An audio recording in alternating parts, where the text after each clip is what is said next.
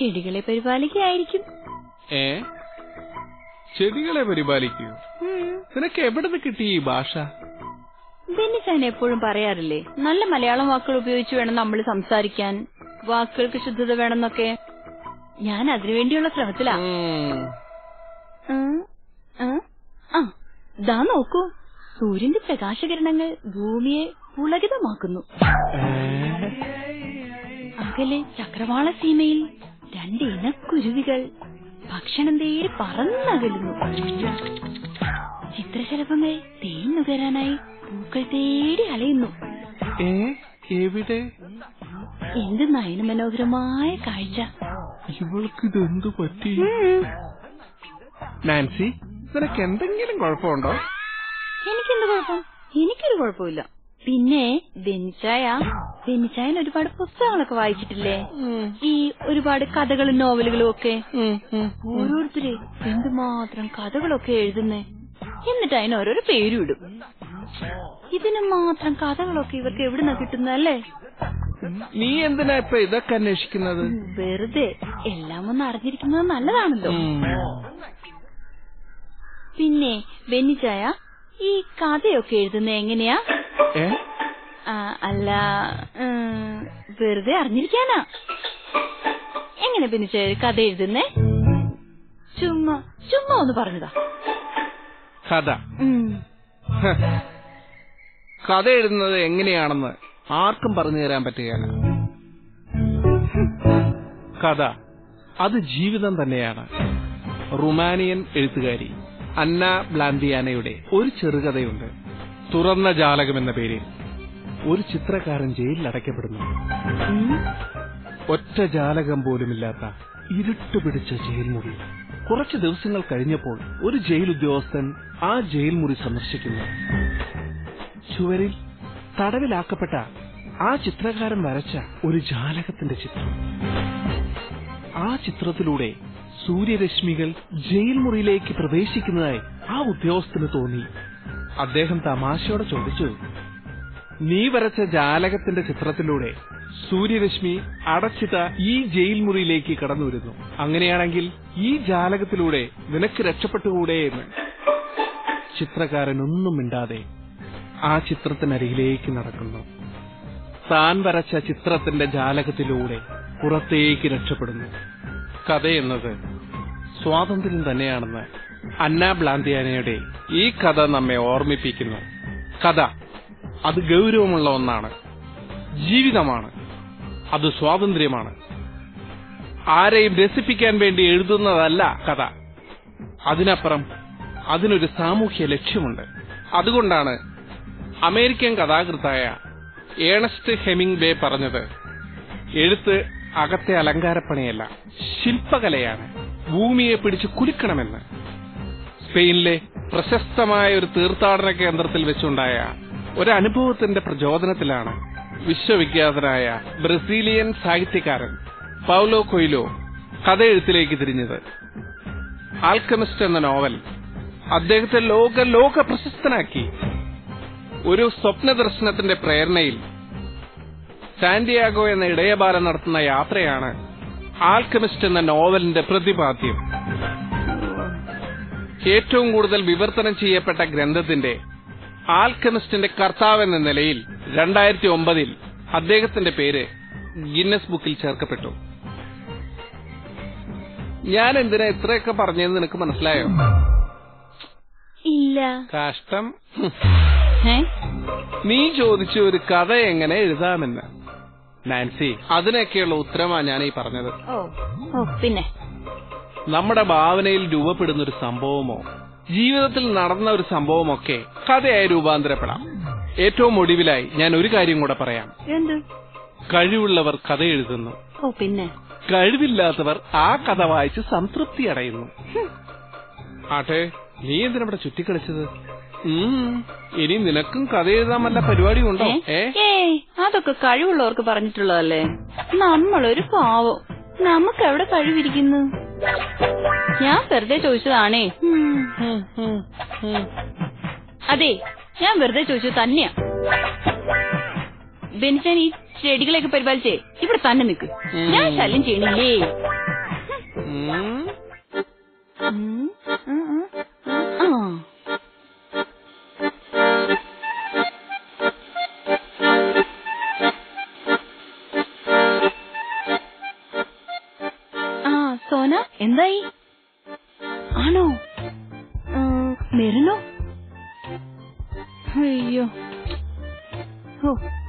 കാര്യമൊന്നും പറയാതിരിക്കാൻ നല്ലത്. ബെന്നിച്ചാൻ ചോദിച്ചു ബെന്നിച്ചാൻ എന്തൊക്കെയോ പറഞ്ഞു. എനിക്കൊന്നും മനസ്സിലായില്ല. ആ എന്തേലൊക്കെ ചെയ്യണം. ആ ഞാൻ പിന്നെ വിളിക്കാം സോന. ആ ഓ ശരി. ഇനിയിപ്പ എന്താ ചെയ്യുക. അത് ശരിയാവുന്നു അങ്ങനെ ചെയ്തിട്ട് എങ്ങനെ ചെയ്താൽ ഇങ്ങനെ ഓ.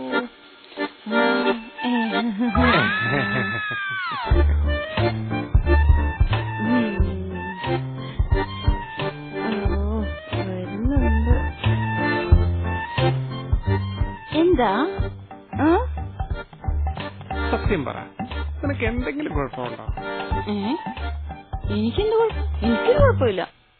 അല്ല കുറച്ചു മുമ്പ് നീ അച്ചടി ഭാഷയിൽ എന്തൊക്കെയോ പറഞ്ഞു. ഇപ്പതേ തനിയെ നിന്ന് സംസാരിക്കുന്നു. അതെ ഞാൻ ചുമ്മാ ഒരു പാട്ട് പാടിയതാ. ബെനിജാനെ റെഡി പോ നോക്കിയേ. ബെനിജാൻ പോയിട്ട് വേണം എനിക്ക് തുടങ്ങാൻ. തുടങ്ങാനോ? എന്ത് തുടങ്ങാൻ. അതെ ഇവിടെയൊക്കെ ഇങ്ങനെ വൃത്തിയാക്കാനേ. ബെനിജാൻ എന്നെ ഞാൻ പോ നോക്ക്. ആ.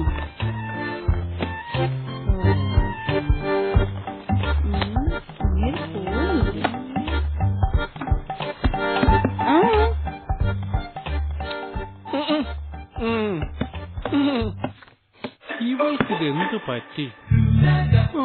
എന്തോ കുഴപ്പമുണ്ട്.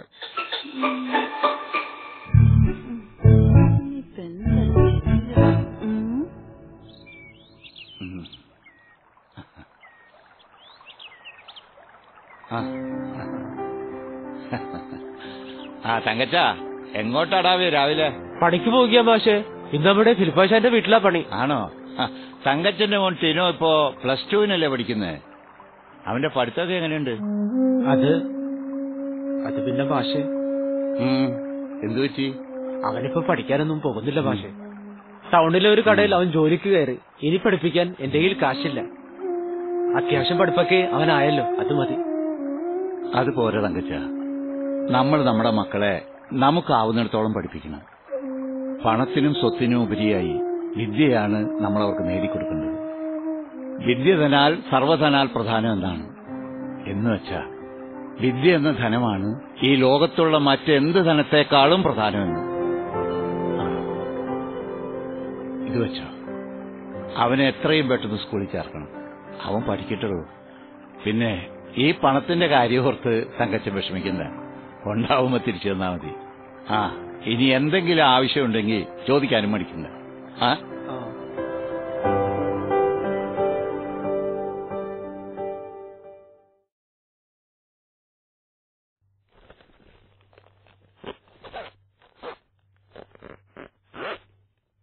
നാൻസി? ഇവളിത് എവിടെ പോയി കിടക്കുക നാൻസി?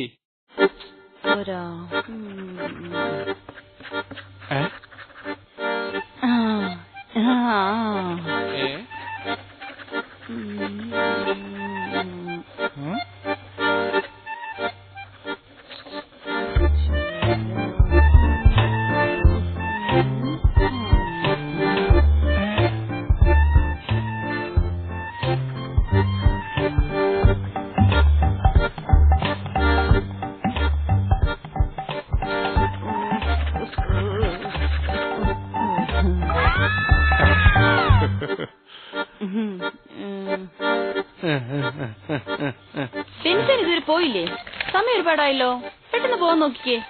ഞാൻ പോയിക്കൊള്ളാം സമയത്തിന്റെ പ്രാധാന്യം നീ എന്നെ പഠിപ്പിക്കണം. നീ എന്താ അവിടെ ഒളിപ്പിച്ചത്? ഞാനിവിടെ ഒന്നും ഒളിപ്പിച്ചില്ലല്ലോ. അയ്യോ. ഷോ ഞാൻ ഇപ്പഴാ ഓർത്ത്. ഞാനേ രാവിലെ ഒന്നും കഴിച്ചില്ല. ഞാനേ അടുക്കളയിൽ പോയി എന്തെങ്കിലും കഴിക്കട്ടെ? ഏ? രാവിലെ നമ്മൾ രണ്ടുപേരും ഒരുമിച്ചല്ലേ ഭക്ഷണം കഴിച്ചത്? നീ അത് എത്ര പെട്ടെന്ന് മറന്നുപോയോ ദേ, ചുമ്മാ കള്ളം പറയല്ലേ ഞാനൊന്നും കഴിച്ചിട്ടില്ലെന്ന് എനിക്ക് നല്ല ഓർമ്മയുണ്ട് ഞാൻ പോയി കഴിച്ചോളാം. കുളി ബെനിച്ചേനെ സ്കൂളിൽ പോ നോക്കി പൊയ്ക്കോ പൊയ്ക്കോ പൊയ്ക്കോ പൊയ്ക്കോ ശരി ആ ആ. തരില്ല ബെന്നിച്ചാൻ പോവാതെ രക്ഷയില്ല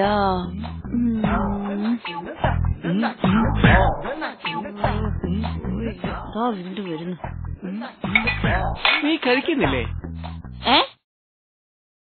അല്ല രാവിലെ ഒന്നും കഴിച്ചില്ല. വിശക്കുന്നു. കഴിക്കാൻ പോവുകയാണെന്ന് പറഞ്ഞല്ലേ നീ അവിടുന്ന് പോന്നത്? ഞാനോ? ഈ ബെന്നിച്ചാൻ തന്നെ പറ്റിയേ? നമ്മൾ രണ്ടുപേരും ഒരുമിച്ചിരുന്നല്ലേ ഭക്ഷണം കഴിച്ചേ?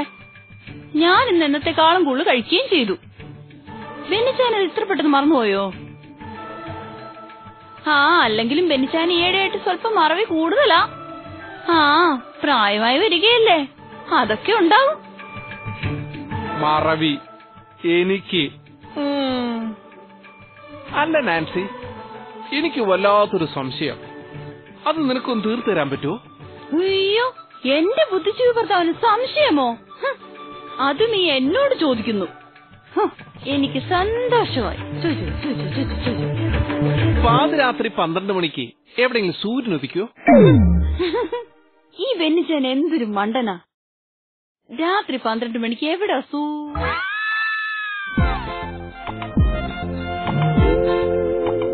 എന്തേ നിർത്തിയത്?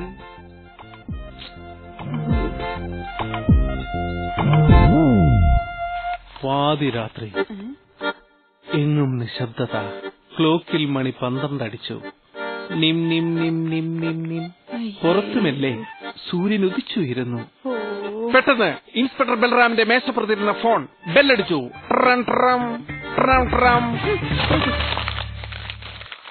ഞാൻ വായിക്കട്ടെ നാൻസി? നല്ല നല്ല രസമുണ്ട്. അതെ രാത്രി പന്ത്രണ്ട് മണി അല്ല പകൽ പന്ത്രണ്ട് മണി. പകൽ പന്ത്രണ്ട് മണിക്ക് സൂര്യൻ ഉദിക്കോ അല്ലല്ല പന്ത്രണ്ട് മണിയല്ല. പത്ത് മണി അല്ലല്ല എട്ട് മണി എട്ട് മണി. ഓ എപ്പോഴെങ്കിലും സൂര്യൻ ഉദിക്കട്ടെ. ബെനിച്ചൻ പോന്നതോ ഞാൻ പോയേക്കാം. അപ്പൊ പൊയ്ക്കൂടെ? അപ്പോ കഥ എഴുതാനുള്ള ശ്രമമാണ്. നടക്കട്ടെ. പിന്നെ ഇതുപോലെയുള്ള മണ്ടത്തരങ്ങളൊന്നും എഴുതി വെക്കരുത്. ഞാൻ മണ്ടത്തരം എഴുതില്ല. നാൻസി ഒന്നുമില്ലെങ്കിലും നീ ഒരു മലയാള അധ്യാപകന്റെ ഭാര്യയല്ലേ? നിനക്ക് എഴുതുവാൻ താല്പര്യമുണ്ടെങ്കിൽ ആദ്യം നല്ല നല്ല പുസ്തകങ്ങൾ വായിക്കുക. ചാച്ചനോട് പറഞ്ഞാൽ ചാച്ചൻ വായനശാലയിൽ നിന്ന് നിനക്ക് പുസ്തകങ്ങൾ എടുത്തു തരും. നീ വായിക്കേണ്ട കുറച്ച് പുസ്തകങ്ങളുടെ പേര് ഞാൻ പറഞ്ഞുതരാം. ആയിരത്തി തൊള്ളായിരത്തി എൺപത്തിയഞ്ചിലെ വയലാർ പുരസ്കാരം നേടിയ എം ഡിയുടെ രണ്ടാം ഊഴം ഓടക്കുഴൽ പുരസ്കാരം നേടിയ ഒ വി വിജയന്റെ ഖസാക്കിന്റെ ഇതിഹാസം എം മുകുന്ദന്റെ മയ്യഴിപ്പുഴയുടെ തീരങ്ങളിൽ രണ്ടായിരത്തി പതിമൂന്നിലെ ഓടക്കുഴൽ പുരസ്കാരവും കേരള സാഹിത്യ അക്കാദമി പുരസ്കാരവും രണ്ടായിരത്തി പതിനാലിലെ വയലാർ പുരസ്കാരവും രണ്ടായിരത്തി പതിനഞ്ചിലെ കേന്ദ്ര സാഹിത്യ അക്കാദമി പുരസ്കാരവും നേടിയ കെ ആർ മീരയുടെ ആരാച്ചാർ എന്ന നോവൽ. രണ്ടായിരത്തി ഒന്നിലെ കേരള സാഹിത്യ അക്കാദമി പുരസ്കാരവും രണ്ടായിരത്തി മൂന്നിലെ കേന്ദ്ര സാഹിത്യ അക്കാദമി പുരസ്കാരവും നേടിയ സാറ ജോസഫിന്റെ ആലാഹിയുടെ പെൺമക്കൾ. രണ്ടായിരത്തി ഒമ്പതിലെ കേരള സാഹിത്യ അക്കാദമി പുരസ്കാരം നേടിയ ബെന്നിയാമിന്റെ ആടുജീവിതം. അങ്ങനെ അങ്ങനെ നിരവധി പുസ്തകങ്ങളുണ്ട്. ഇവയെല്ലാം നീ എടുത്തു വെച്ച് വായിക്കേ. കുഞ്ഞുണ്ണി മാഷ് പറഞ്ഞ എന്താണെന്ന് നിനക്കറിയാമോ. വായിച്ചാലും വളരും വായിച്ചില്ലെങ്കിലും വളരും. വായിച്ചു വളർന്നാൽ വിളയും വായിക്കാതെ വളർന്നാൽ വളയും. ഒരു കഥ എഴുത്തുകാരി. നോക്കിക്കോ വൈകിട്ട് വരുമ്പോ ഒരു ഉഗ്രം കഥ ഞാൻ എഴുതി വെച്ചിട്ടുണ്ടാവും അത് വായിച്ച് ബെനിച്ചാൻ എന്നെ അഭിനന്ദിക്കും. ഇത് കൊള്ളില്ല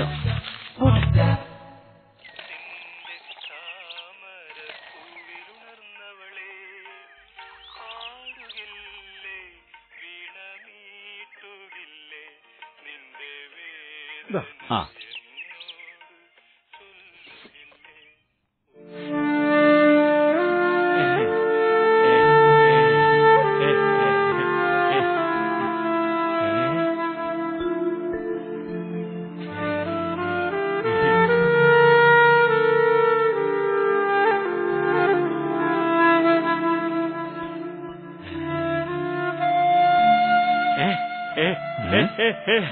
ശല്യം പോടാ എടാ പോവാൻ നിന്നോട് പോവാനല്ലേ പറഞ്ഞത് എടാ പോവാൻ പോടാ നിന്നെ ഇന്ന് ഞാൻ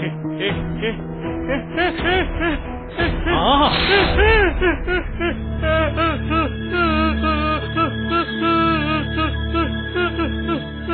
നിങ്ങൾ എന്താ ഈ കാണിച്ചത് വിശപ്പ് സഹിക്കാൻ കഴിയാതെ ഒരു നേരത്തെ ആഹാരം തേടി വന്നവന്റെ നേർക്കാണോ നിങ്ങൾ ഈ ചൂടുള്ള ഒഴിച്ചത്? പിന്നെ ഞാൻ എന്ത് വേണമെന്നാ സാറേ ഈ പറയുന്നത്? ഇവന്മാരൊക്കെ തീറ്റിപ്പോറ്റാനല്ല ഞാൻ ഈ കട വെച്ചിരിക്കുന്നത് ഇവന്മാരൊക്കെ കള്ളമാരെ സാറേ.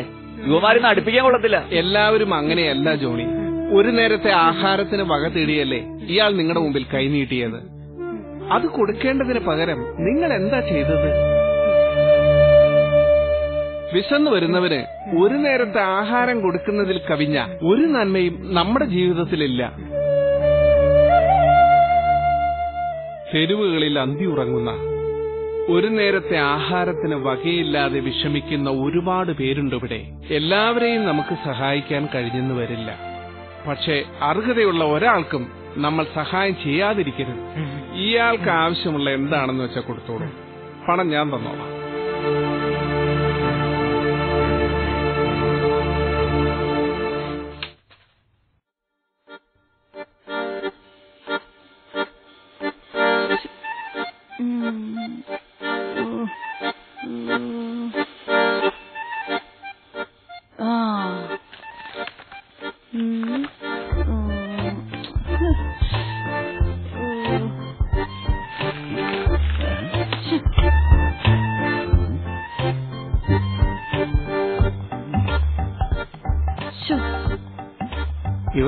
ആ.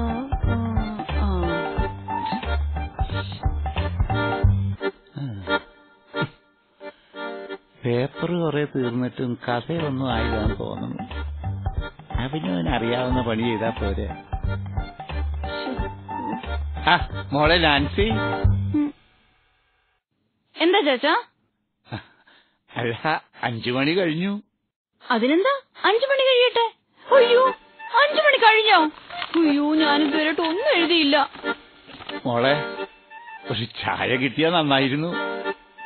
എന്താ ചാച്ച ഇത്? ഞാനിവിടെ തല പോഞ്ഞിരിക്കുമ്പോഴാണോ ചാച്ചൻ ചായ ചോദിക്കുന്നേ? അല്ല എല്ലാ ദിവസവും ഉച്ചയ്ക്ക് ഒരു മണിക്ക് കിട്ടുന്ന ഊണേ ഇന്ന് രണ്ടരയ്ക്കാ കിട്ടിയത്. നാലു മണി കഴിയുമ്പോ ചായ കിട്ടുമായിരുന്നു. ഇതുവരെ കിട്ടിയില്ല അതുകൊണ്ടാ ഞാൻ വന്നത്. അതെ ഞാനിവിടെ ഒരു പണി ചെയ്തുകൊണ്ടിരിക്കുന്നത് ചാച്ച കാണുന്നില്ലേ? രാവിലെ തൊട്ടിരുന്നതാ. ഇതുവരെ ഒരു വരി പോലും എഴുതാൻ പറ്റിയില്ല. ചാച്ച ഞാനിത് എങ്ങനെയെങ്കിലും ഒന്ന് എഴുതിക്കോട്ടെ. ചാച്ച ദയവ് ഇതെന്നെ ശല്യം ചെയ്യരുത്. ഓ മോൾ ഇത്രയും വിഷമിച്ചിരിക്കുകയാണെന്ന് എനിക്ക് അറിയാൻ മേലായിരുന്നു. മോൾ എഴുതിക്കോ? ഞാൻ ഒരു ശല്യത്തിനും വരുന്നില്ല. എഴുതിക്കോ എഴുതിക്കോ.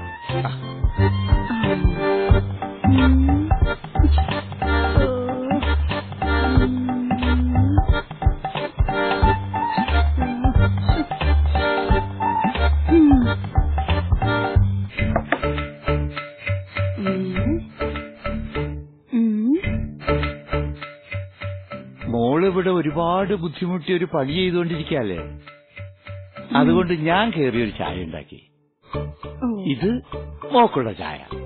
ഇത് എന്റെ ചായ. കുടിച്ചോ? ക്ഷീണം കാണും. രാത്രിയിലേക്കുള്ള ഭക്ഷണം ബെന്നി വന്നിട്ട് അവനുണ്ടാക്കുമായിരിക്കുമല്ലേ മോൾ ഇവിടെ ഒരു പണി ചെയ്തുകൊണ്ടിരിക്കുവല്ലേ? ലക്ഷണം കണ്ടിട്ട് ഇത് ഇന്നെങ്ങും തീരുമെന്ന് തോന്നണില്ല. അതുകൊണ്ട് പറഞ്ഞതാ. എന്തൊക്കെ കാണണം ദൈവമേ. ഓ എനിക്ക് ചായ വേണ്ട.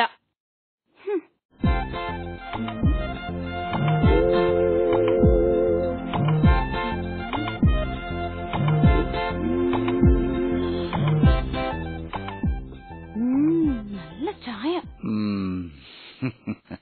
ആഹാ നീ വന്നോ? ഞാൻ ചായ ഉണ്ടാക്കി അടക്കളയിൽ വെച്ചിട്ടുണ്ട്. പോയി തനിയെ എടുത്ത് കുടിച്ചോ. പിന്നെ നാൻസി മോളെ ശല്യം ചെയ്യരുത്. അവൾ തഴ പുകഞ്ഞ് കഥ എഴുതിക്കൊണ്ടിരിക്കുക ഏ? അത് ഇതുവരെ തീർന്നില്ല? തീർന്നിട്ടില്ല എന്ന് മാത്രമല്ല അത് ഉടനെ ഒന്നും തീരാനും പോകുന്നില്ല. രാത്രിയിലേക്കുള്ള ഭക്ഷണം നമുക്ക് രണ്ടുപേർക്കും കൂടി ഉണ്ടാകാം ആ പാവത്തിന് വെറുതെ ശല്യപ്പെടുത്തണ്ട കേട്ടോ. ഏ ഈ പ്രശ്നം ഞാൻ ഇപ്പൊ തീർത്തു തരാം. ഉം. ആ ചിലപ്പോഴാ ആ. തീരുള്ളൂ ആ. ആ.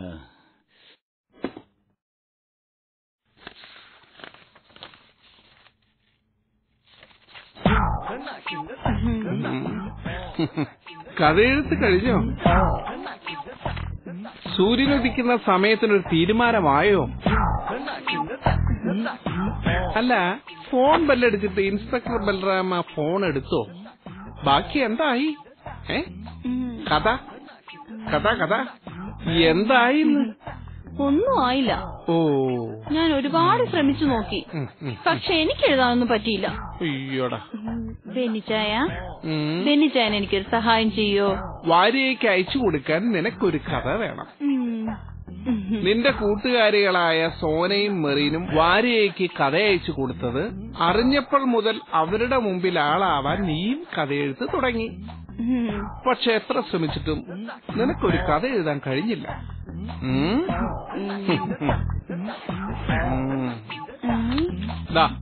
നീ ഇതൊന്ന് നോക്ക്.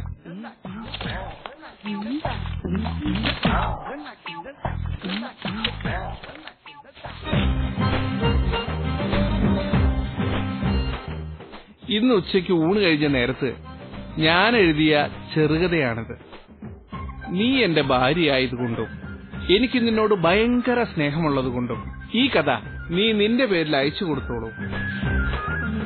കൂട്ടുകാരികളുടെ മുമ്പിൽ നിനക്ക് ആളാകണ്ടേ? ഞാൻ രാവിലെ പറഞ്ഞത് നിനക്ക് ഓർമ്മയുണ്ടോ? കഥ. അതെങ്ങനെ എഴുതാമെന്ന് ആർക്കും പറഞ്ഞു തരാൻ പറ്റുകയില്ല. നമ്മുടെ ഭാവനയിൽ സൃഷ്ടിക്കപ്പെടുന്നതോ ജീവിതത്തിൽ നടക്കുന്ന ഒരു കാര്യമോ നമുക്ക് കഥയായി രൂപാന്തരപ്പെടുത്താം. രാവിലെ ഞാൻ സ്കൂളിലേക്ക് പോകുന്ന വഴി വർക്കിച്ചായന്റെ ചായക്കടയുടെ മുമ്പിൽ വെച്ച് വേദനിപ്പിക്കുന്ന ഒരു സംഭവം ഉണ്ടായി. വിശപ്പ് സഹിക്കാനാവാതെ ഒരു നേരത്തെ ആഹാരത്തിനായി കൈനീട്ടിയ ഒരു പാവത്തിന്റെ ദേഹത്തേക്ക് വർക്കിച്ചായൻ ചൂടുവെള്ളം ഹാ, വേദന കൊണ്ട് ആ പാവം അലറി കരഞ്ഞു. ആ കരച്ചിൽ അതെന്നെ വല്ലാതെ വേദനിപ്പിച്ചു. അയാളെ എങ്ങനെ ആശ്വസിപ്പിക്കണമെന്ന് എനിക്കറിയില്ലായിരുന്നു. അയാൾക്ക് വയറു നിറയെ ആഹാരം മേടിച്ചു കൊടുത്ത് അഗതി മന്ദിരത്തിലാക്കിയിട്ടാണ് ഞാൻ സ്കൂളിലേക്ക് പോയത്. സ്കൂളിൽ കുട്ടികളെ പഠിപ്പിച്ചുകൊണ്ടിരുന്നപ്പോഴും ആ സംഭവം അതെന്നെ വല്ലാതെ വേദനിപ്പിച്ചുകൊണ്ടിരുന്നു. ആ വേദനയാണ് ഞാൻ ഈ പേപ്പറിലേക്ക് പകർത്തി എഴുതിയത്. വിശക്കുന്നവന് ഒരു നേരത്തെ ആഹാരം കൊടുക്കുന്നതിൽ കവിഞ്ഞ ഒരു നന്മയും നമ്മുടെ ജീവിതത്തിൽ ഇല്ല എന്നാണ് ഈ കഥയുടെ സാരാംശം. നിനക്ക് കഥ ഇഷ്ടപ്പെട്ടോ നാൻസി? എഴുതിയ കഥയല്ലേ? ഒട്ടും മോശാവില്ല. അയ്യോ ബെന്നിച്ചായൻ ചായ കുടിച്ചില്ലല്ലോ? നല്ല ചായ. ഇരിപ്പുണ്ട് ഞാൻ എടുത്തോണ്ട് വരാവേ. ചാച്ചനുണ്ടാക്കിയ ചായയല്ലേ? അപ്പൊ ബെസ്റ്റ് ചായ ആയിരിക്കും. ചായ ഉണ്ടാക്കിയത് ചാച്ചനാണെന്ന് പറയുന്നില്ലേ.